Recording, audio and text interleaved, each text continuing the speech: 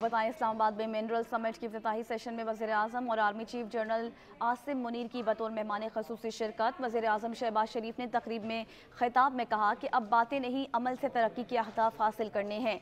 छः खरब डॉलर के मादी ज़खायर से मुल्क की तकदीर बदलेंगे। पचहत्तर बरस में हुई ज्यादतियों का अजाला करेंगे। गलतियों से सीख कर आगे बढ़ेंगे। जंग कोई ऑप्शन नहीं है। मसाइल का वाहिद संजीदा मुजाकर हैं। पड़ोसी ममालिक को मिलकर काम करने की दावत देते हैं। सियासी वजूहत की बिना पर तजब्जुब का शिकार रहे, लेकिन अब माजी की गलतियों से सबक सीख कर हमें आगे बढ़ना है। तरक्की की राह में करप्शन बड़ी रुकावट रही। गुजशत दौर में नैब हकीकी मुलजमान को छोड़कर मुआजीन सियासी इंतकाम का निशाना बनाता रहा।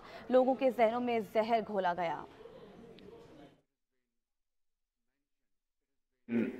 Mentioned that we have with us deposits worth trillion dollars. Six trillion dollars.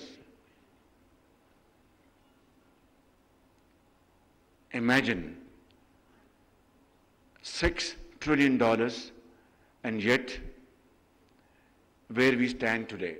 I will not mention names here because that's not the intent and purpose of this meeting.